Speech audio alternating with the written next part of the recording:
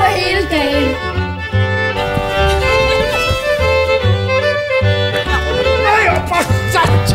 Jeg har noget vigtigt at fortælle jer. Edvard har spurgt mig, om jeg vil gifte mig med ham. Vi spiller vores roller.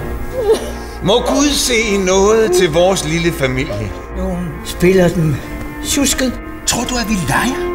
andre spiller dem med omhu. Du ved, det er en synd og svær falsk. Det straffes hårdt. Børnene vil blive taget fra mig.